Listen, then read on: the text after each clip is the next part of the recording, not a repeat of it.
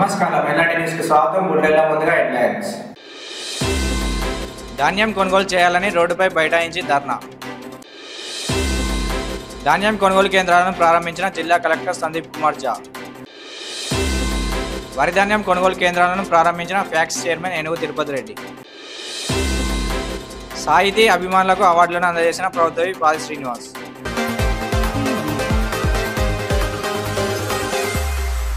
ధాన్యం కొనుగోలు కేంద్రాల ఏర్పాటు విషయంలో ప్రభుత్వం తీవ్ర నిర్లక్ష్యం వహిస్తుందని సకాలంలో ధాన్యం కొనుగోలు ప్రక్రియ చేపట్టకపోవడంతో తాము తీవ్రంగా నష్టపోతున్నామని ఆవేదన వ్యక్తం చేశారు.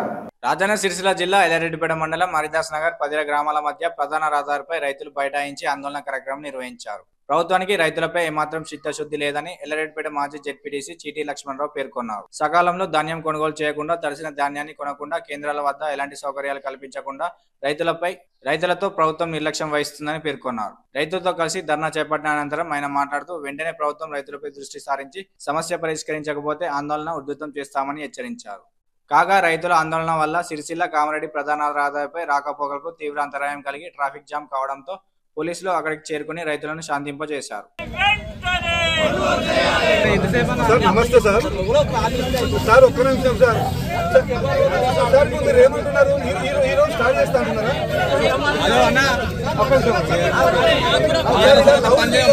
వందలాది మంది రైతులు ఉన్నారు. మీరు ఈరోజు స్టార్ట్ చేస్తామంటున్నారా? ఏమంటున్నారు? మరి ఇరవై రోజుల క్రితం మనకు ఓపెన్ చేసినాము రిపన్గా ఇన్ని రోజులు సగం ధాన్యం బయటకు పోయింది. మరి ఇన్ని రోజులు ఏం చేసినట్టు సార్ మనం?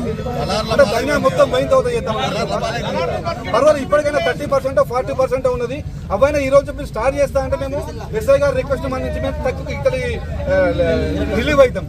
మీరు పక్కా ఇలా స్టార్ట్ చేస్తారా? ఆ? ఇరవై- 100% start చేస్తాం. సరే సార్ ఇప్పుడు పబ్లిక్ ఇబ్బంది అవుతుందని చెప్పి హాఫ్ అన్ అవర్ స్టార్ట్ అవుతుంది. కమిట్మెంట్ ఇస్తుంది కదా సార్ పక్కా?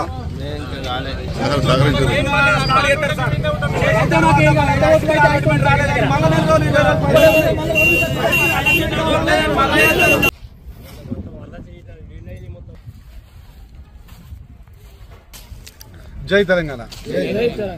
అందరికీ నమస్కారం. ఈరోజు మండల వ్యాప్తంగా అన్ని గ్రామాల్లో అడ్డగోలు హామీలతోని అధికారంలోకి వచ్చిన కాంగ్రెస్ ప్రభుత్వం సుమారుగా రైతులందరూ అన్ని గ్రామాల్లో ఒక నెల రోజుల క్రితం పొలాలు వరి పొలాలు కోతకు బట్టి ఈరోజు ధాన్యం అంతా కళ్ళలకు వచ్చి సుమారుగా ఇరవై రోజుల నుంచి నెల రోజులు అవుతా ఉంది. ఏదైతే కాంగ్రెస్ ప్రభుత్వానికి సంబంధించిన నాయకులు అయితేంది ప్రభుత్వం అయితేంది ప్రభుత్వ యంత్రాంగం అయితేంది అన్ని కళ్ళాల్లో ఐకేపీ సెంటర్లు అయితేంది మిగతా ఎన్ని సెంటర్లో కూడా కొబ్బరికాయలు కొట్టి రిబ్బన్ కత్తిరించి ఈ రోజుకు ఇరవై ఐదు రోజులు అవుతా ఉంది. ఇరవై ఐదు రోజుల నుంచి మళ్ళీ ఒక్కరు కూడా కళ్ళాల్లోకి వచ్చి రైతుల పరిస్థితి ఏంది మీరు పండించుకున్న ధాన్యం పరిస్థితి ఏంది అని అడిగిన పాపాన పోలేదు. ఈరోజు గ్రామాలకు పోతే మండల వ్యాప్తంగా అన్ని గ్రామాల్లో ధాన్యం అంతా కనిపిస్తూ ఉన్నది లారీలలోకి వచ్చి ప్రతిరోజు ప్రతి గ్రామంలో దళారుల పాలు దళారులకు అమ్ముకునే పరిస్థితి. అకాల వర్షాలతోని అడ్డగోలు నష్టం. ఎన్నో వడ్లు ఖరాబ్ అయిపోయినాయి. ఎండబోసిన వడ్లు కొనే పరిస్థితి లేదు. ఈరోజు రైతులందరూ కళ్ళల్లో కొద్దిగా దీన పరిస్థితి అన్న ఎప్పుడు వస్తున్నాయి? గన్ని బ్యాగ్స్ ఎప్పుడు పెడుతున్నారు కాంట ఎప్పుడు వస్తాయి మా పైసలు అనే పరిస్థితి నెల్లూరు నుంచి కళ్ళల్లో దీనా వస్తు దీనా పరిస్థితి వాళ్ళది. దయచేసి కాంగ్రెస్ ప్రభుత్వానికి ప్రభుత్వ యంత్రాంగానికి రైతుల పట్ల మా విజ్ఞప్తి ఏంటంటే ఇలా రాజకీయాలు కాదు రైతుల పరిస్థితి.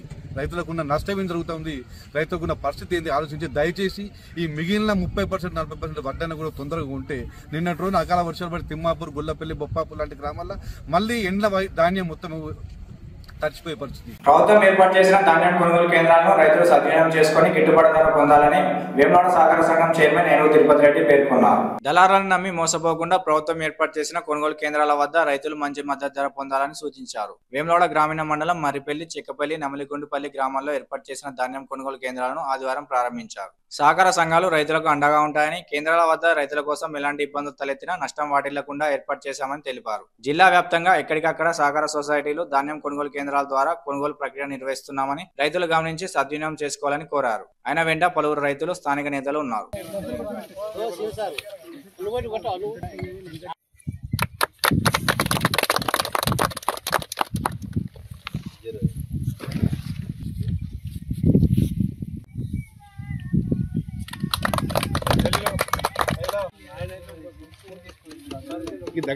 ఈరోజు ఈరోజు మరిపల్లి గ్రామంలో వడ్లబీటు వడ్లబీటు ఓపెనింగ్ చేసినాం. ఓపెనింగ్ చేసిన ఓపెనింగ్కి వచ్చిన సింగిల్ విండో చైర్మన్ గారికి తిరుపతి అన్న గారికి మరియు పాలక వర్గానికి మరిపల్లి గ్రామం తరఫున ధన్యవాదాలు తెలుపుతూ ఈరోజు వడ్లు కాంట స్టార్ట్ చేయడం జరుగుతుంది.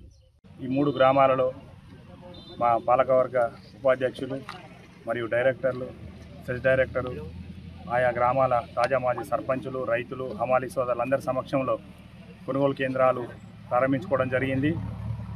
ఈ కొనుగోలు కేంద్రాలను గతంలోలాగా ఈసారి కూడా యథావిధిగా రెగ్యులర్గా మంచిగా అంటే ఎక్కడైనా ఈ సెంటర్లలో ఇబ్బందులు కాకుండా రైతులందరూ ఒకరికొకరు కోఆర్డినేట్ చేసుకుంటూ మన వడ్లు ఏవైతున్నాయి మన వడ్లు మిల్లు చేరేంత వరకు కూడా అందరం బాధ్యతగా ఉండి మిల్లుకు చేరిన వెంటనే డబ్బులు చెల్లించడానికి సిద్ధంగా ఉన్నాం కనుక మిల్లుకు చేరేంత వరకు కూడా అందరూ కూడా బాధ్యత తీసుకున్నట్టయితే ఎవరికి ఇబ్బంది కాదని చెప్పి రైతులకు ఒక చిన్న మనవి మాది. అలాగే ఈ కాలం పైన చూస్తే తెలుస్తుంది మనకు వర్షాలు పడే సందర్భం కనబడుతుంది కనుక మీరు కష్టపడితేనే వడ్లు ఇక్కడ వరకు వచ్చినాయి. ఇక్కడికి వచ్చినాక తడవకుండా కొద్ది తగు జాగ్రత్తలు తీసుకున్నట్టయితే మనందరికీ కూడా మంచి జరుగుతుందని చెప్పి ఒక విన్నపం. ఈశ్వర గారి ముక్తేశ్వరి ఫౌండేషన్ సామాజిక సేవా సంస్థల ఆధ్వర్యంలో పలు రంగాల్లో విశేషమైన సాహిత్య సేవలు అందించిన వారికి అవార్డులను ప్రదానం చేశారు. ఆదివారం రోజున వేములవాడ పట్టణంలో నిర్వహించిన కార్యక్రమంలో జరిగిన సాహితీ అవార్డుల ప్రధానోత్సవ ఘట్టానికి ప్రభుత్వ వేములవాడ శాసనసభ్యులు ఆది శ్రీనివాస్ ముఖ్య అతిథిగా హాజరయ్యారు. జ్యోతి ప్రజ్వలన చేసి కార్యక్రమాన్ని ప్రారంభించిన అనంతరం ఆయన మాట్లాడుతూ సాహితీ అభిమానులను ప్రోత్సహిస్తూ వారి రచనలకు అవార్డులను అందజేస్తున్న ముక్తేశ్వరి ఫౌండేషన్ నిర్వాహకులను అభినందించారు. అనంతరం అవార్డులు పొందిన వారికి మెమంటో ప్రశంసా పత్రాలను అందజేసి సత్కరించారు. కార్యక్రమంలో ఫౌండేషన్ సభ్యులతో పాటు సన్మాన గ్రహీతలు సాహితీ అభిమానులు హాజరయ్యారు.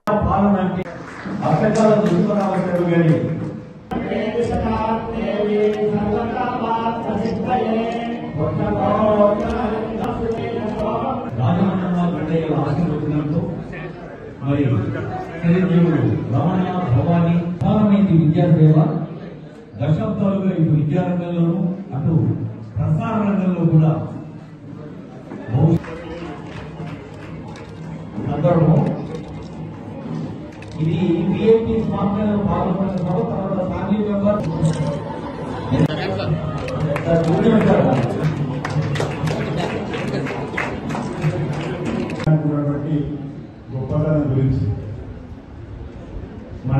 నుంచే మూలబాబు పిల్లల నుంచి శ్రీనారాయణ గారు సాహిత్య రంగంలో ఓ శిఖరంలాగా ఎదిగి ఈ సాహిత్య సాహిత్యం ద్వారా రచనల ద్వారా సమాజాన్ని మేలుకొల్పేటువంటి అనేక కార్యక్రమం చేయవచ్చని చెప్పడానికి ముందుగా మనం వారి కూడా పద్మశ్రీ జ్ఞానం తర్వాత రైతులకు కూడా అనేక సందర్భాల్లో మంచిని స్వీకరించి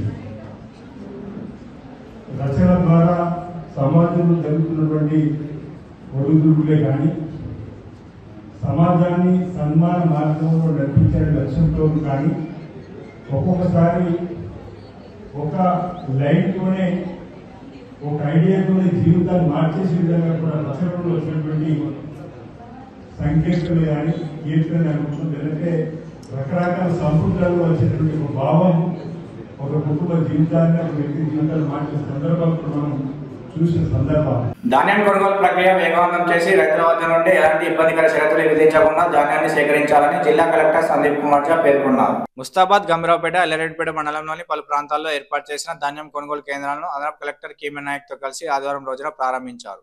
రైతులు తేమ శాతం సరిచూసుకుని తప్ప తాలు లేకుండా ధాన్యాన్ని తరలించి మంచి గిట్టుబాటు ధర పొందడమే కాకుండా కేంద్రాల నిర్వహణకు సహకరించాలని అన్నారు. అనుకోని అకాల వర్షాలతో తడిసినప్పటికీ చివరి గింజ వరకు కొనుగోలు చేస్తామని కలెక్టర్ రైతులకు హామీ ఇచ్చారు. పౌర సరఫరాల శాఖ అధికారులు సేకరణ వేగవంతం చేయాలని ఆదేశించారు. ప్రారంభ కార్యక్రమంలో పౌర సరఫరాల శాఖ అధికారులు సిబ్బంది ఉన్నారు. దక్షిణ కాశీగా పేరొందిన వేములవాడ శ్రీ రాజేశ్వర స్వామి వారి ఆలయానికి ఆదివారం భక్తులు పోటెత్తారు కార్తీక మాసం పురస్కరించుకొని ముందుగా భక్తులు ధర్మగుండంలో పుణ్యస్థానాలు ఆచరించి కోడముక్కు చెల్లించుకుని స్వామివారి సేవలో తరించారు. భక్తులు భారీగా తరలి వచ్చినప్పటికీ ధర్మదర్శనంలో ఎలాంటి లోటుపాట్లు లేకుండా ఆలయ ఉన్నతాధికారులు పర్యవేక్షించారు.